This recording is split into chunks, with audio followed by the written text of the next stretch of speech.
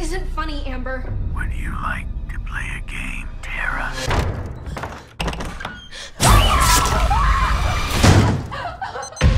Doors unlocked.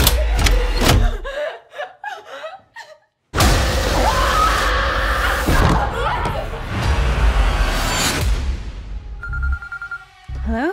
It's happening. Three attacks so far. Do you have a gun? I'm Sidney Prescott. Of course I have a gun. Samantha?